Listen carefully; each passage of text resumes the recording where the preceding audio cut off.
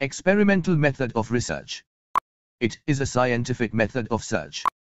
It is futuristic in nature. Experimentation is the name given to the type of educational research in which the investigation controls the educated factors to which a child or a group of child is subjected during the period of enquiry and observes the resulting achievement. Experimental method is based on J.S. Mill's first canon law of single variable. Experimental method is based on variable. A variable is a feature or aspect of an event function or process which is being studied. Types of variables. One experimental variable An experiment is conducted in order to see the effect of a variable or treatment which is known as experimental variable. Two controlled variable When the effectiveness of an experimental variable is examined by comparing with other variable is known as controlled variable.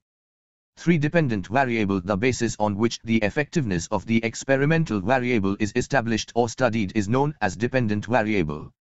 4. Intervening variable number of abstract variable working in educational experiment which intervenes the effect of experimental variable or dependent variable example, attitudes, motivation, learning process. Features of experimental method. It can be implemented in education with limitations of human material. Experimental and control groups are not exactly identical as in sciences.